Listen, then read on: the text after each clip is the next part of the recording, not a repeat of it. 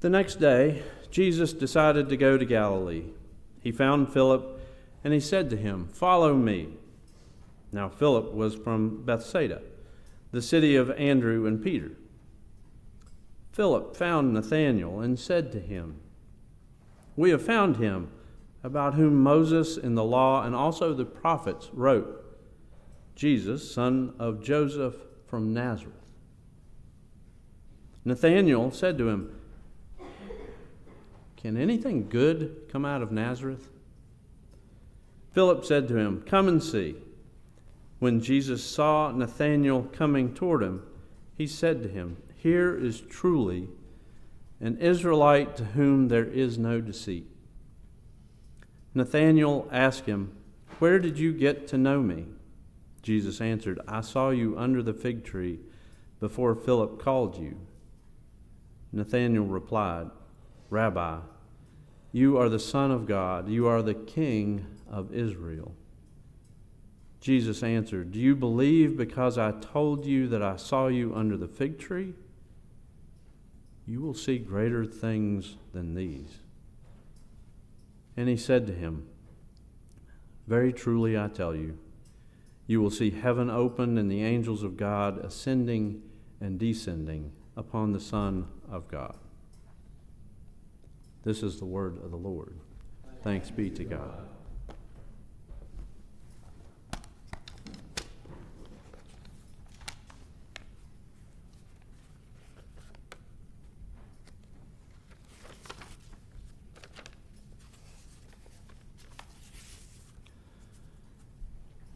I find our Old Testament reading this morning very interesting and even a bit humorous. What Wilson read earlier is, is early in the book of Samuel. We call it First Samuel, but the two books were originally one bigger book, and the Torah, the Jewish Bible, still maintains that. The creation of the two is because when the book was translated to a scroll in Greek, it was too long for one scroll. So it was divided. The original Hebrew doesn't have vowels, so the addition of those made it much longer. So now we have two. Samuel is pretty early in the history of Israel. Israel is still very new to their faith. They frequently fall prey to outside forces, easily following other gods. They may not literally be wandering in the desert any longer, but for sure they are figuratively wandering. Unstable, not yet found their place in the world. God had used prophets to lead them, not wanting to resolve to a monarchy. God knows that kings would become corrupt. God knows that kings would rule unjustly and would squeeze God out of the picture if they were given the opportunity. God wanted to be their king. But the people just wouldn't have it. They felt they needed an earthly king. So the books of Samuel tell a history of that change, telling of God's movement in the Israelites to move God's people forward, where before they didn't really have a land and they didn't really have a direction. We learn in Samuel how God brought about God's will and created a more stable people with a land and a direction. The book of Samuel is the story of the prophet Samuel, from his birth to his anointing kings of Israel. He was another one that seemed to be ordained before birth to God's work.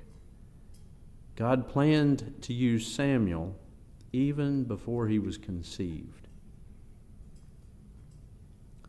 Samuel's mother was Hannah, who was said to be barren.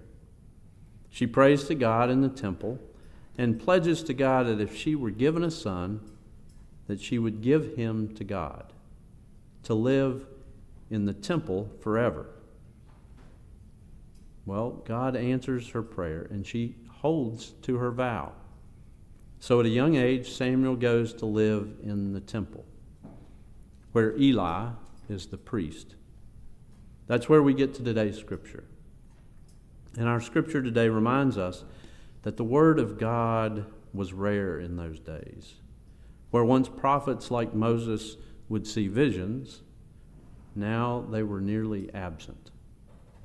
Many of the Israelites were lost, wandering.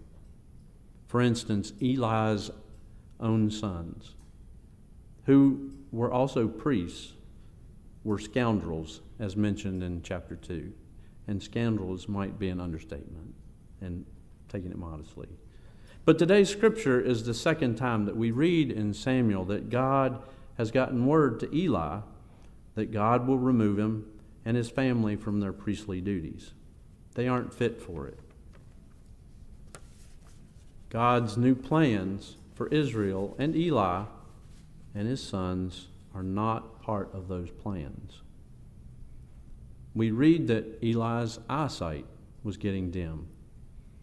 That refers not only to a physical shortcoming, but probably more importantly, it refers to a spiritual blindness. I find this story from Samuel a bit comedic. Picture it with me, will you? Here we have Samuel lying down late in the night.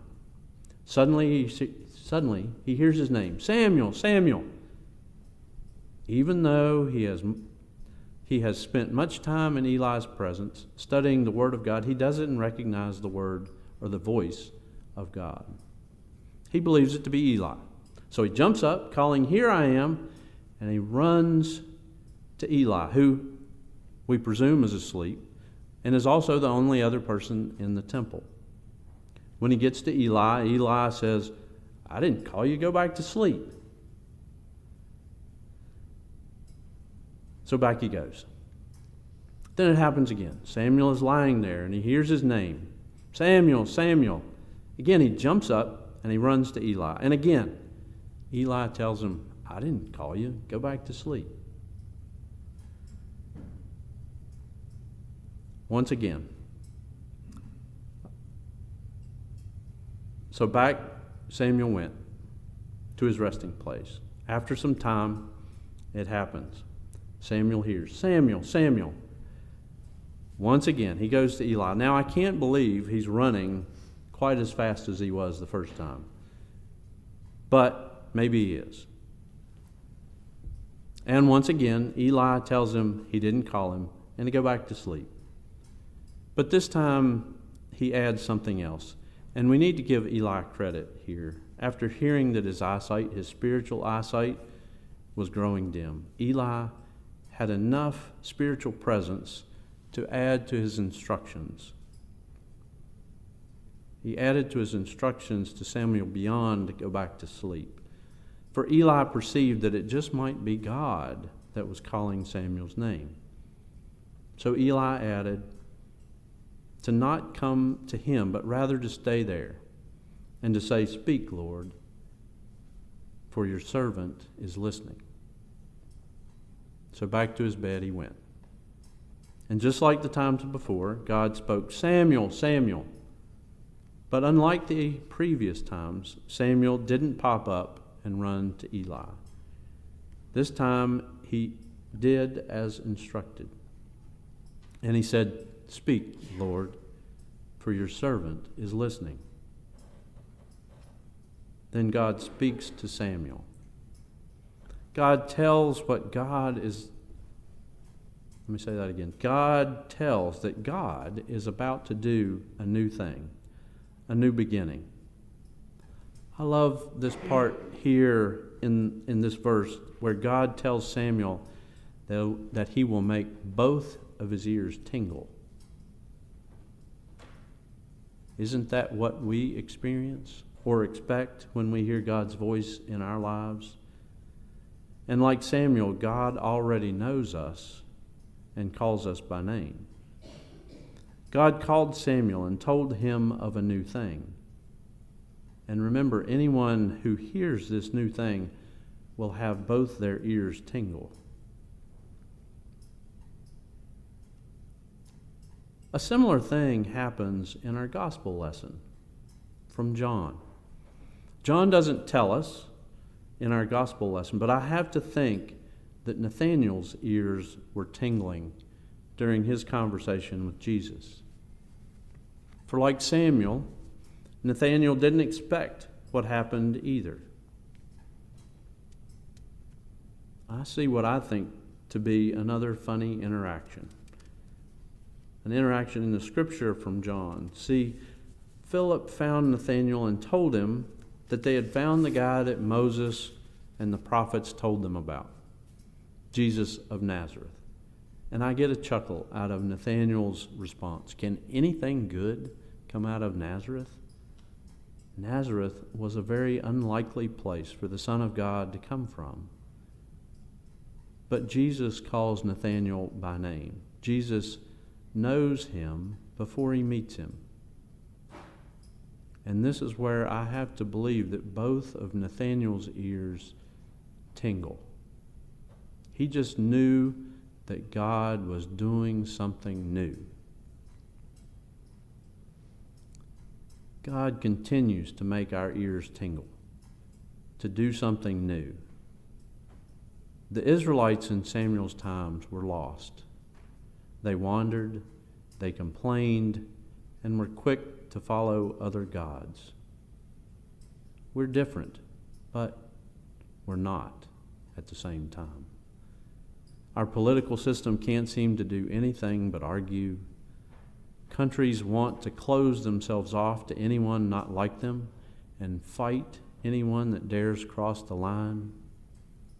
Countries and peoples want to grab more than their share. A growing difference between rich and poor. There seems to be nowhere that's safe from some sort of violence.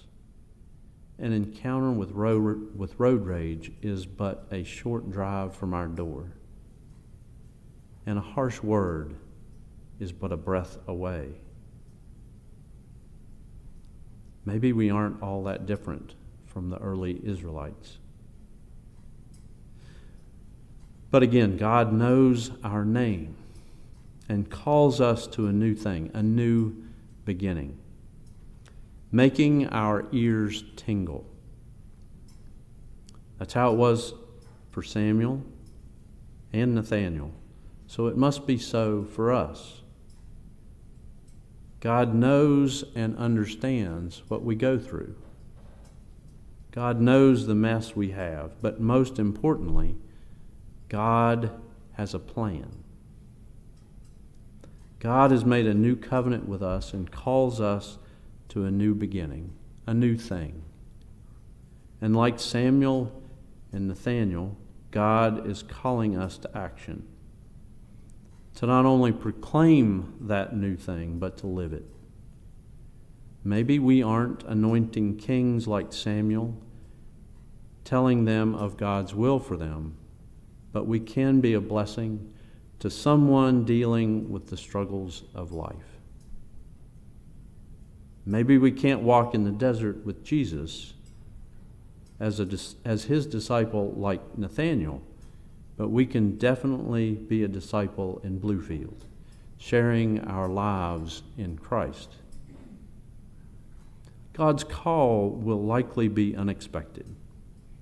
At an unexpected time, like when we are lying down, or from an unexpected place, like Nazareth from an unexpected person. Regardless, God makes our ears tingle and our lives new. As disciples and as the church, we are called to be that unexpected, to hear for ourselves, but to help others hear as well. For everyone that hears will have both their ears tingle and as the church, we are to lift each other and to support each other to that new beginning, that new thing that comes in the light and life of Jesus Christ. On this eve of Martin Luther King Jr. Day, I think it's very appropriate to share some of his words. Life's most persistent and urgent question is what are you doing for others? Every person must decide whether he or she will walk in the light of creative altruism or in the darkness of destructive selfishness. Darkness cannot drive out darkness. Only light can do that. Hate cannot drive out hate. Only love can do that. Let us pray. O oh God, you know us intimately and call us by name. Speak, Lord, for your servant is listening. You give us to each other to know and to love as we journey in this life. Guide and direct us as we live into this new thing. Our ears tingle with the revelation of your kingdom. Show us your will for all creation. And now let the church respond with Speak, Lord, for your servant is listening. Speak, Lord, for your servant is listening. In the name of the Holy Trinity, one God, now and forever. Amen.